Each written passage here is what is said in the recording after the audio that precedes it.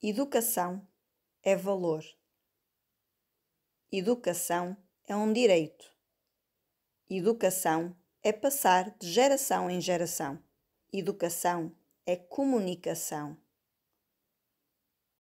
Educação é cultura e identidade. Educação é incentivar a participação cívica. Educação é dar voz às mãos. Educação é aprender e ensinar. Educação é referência. Educação. Obrigada. Obrigado.